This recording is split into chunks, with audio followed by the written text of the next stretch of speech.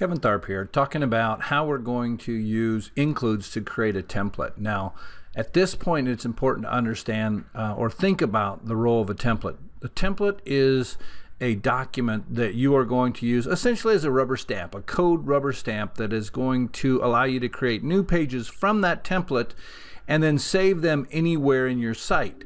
You might save them at the root level. You might save them at a subdirectory, or you might save them at a sub-subdirectory or anywhere else in your site.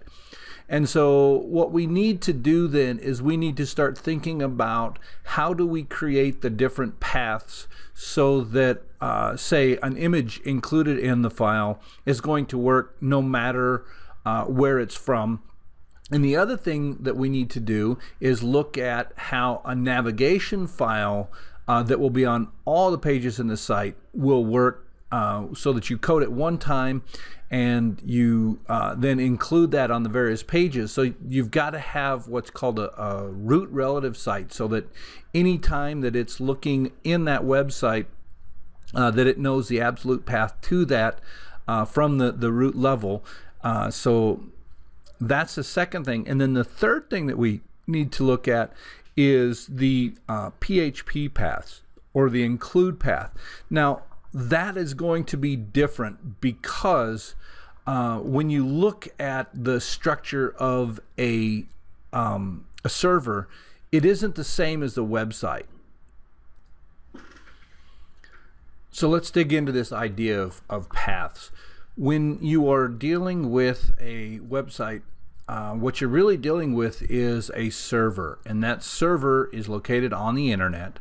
And as you recall from uh, previous internet basics, um, the different websites in there are each associated with an IP address. The IP address is a numeric address that is able to use the DNS system to associate a um, a domain name such as stoutmartech.com with an IP address.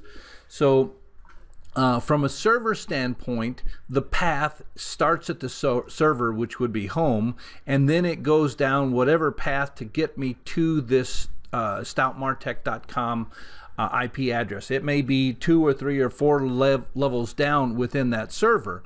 Now, that normally isn't a problem when you're just working with HTML because the HTML, as you recall, uses the, the client uses the DNS system to come straight to this folder. So this to the uh, website seems like the root level, uh, but to the server, this is the root level.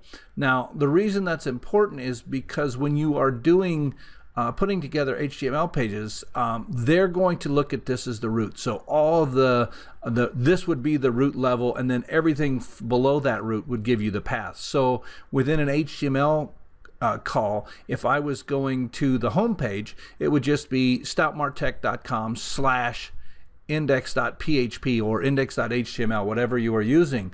Uh, if, however, I was going to go to um, uh, this exercises homepage, which sits down in the exercises folder, then the path would be stoutmartech.com slash exercises slash index.php or index.html, whichever was appropriate. But when you're doing a PHP call, you're coming for, you're working at the server level so you're telling it to uh, you're, you're interacting with the server not just with the uh, the website. So when you set a path for a PHP call, it has to start at this root level.